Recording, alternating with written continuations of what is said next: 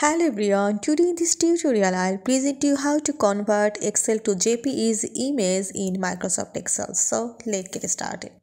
I open my Excel document and I want to convert it in a JPEG image. So go here in this file menu and now go to save as and go here this destination where I have to save and now go to in save as type there is no option to save it in a jpeg image so i do this in the another way go to cancel. And now first you have to save this a pdf format so go to in this save and save as type. You have to select it in pdf now save this.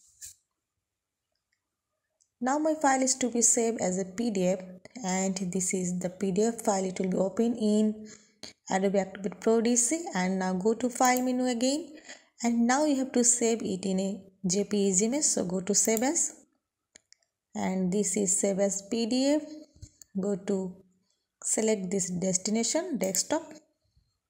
And now save as type you have to change here. Go to file name change this file name also. And now save as type. This is png jpg and now save this as a jpg file my file is to be saved as a jpeg image so i see this. This is i go here in this properties.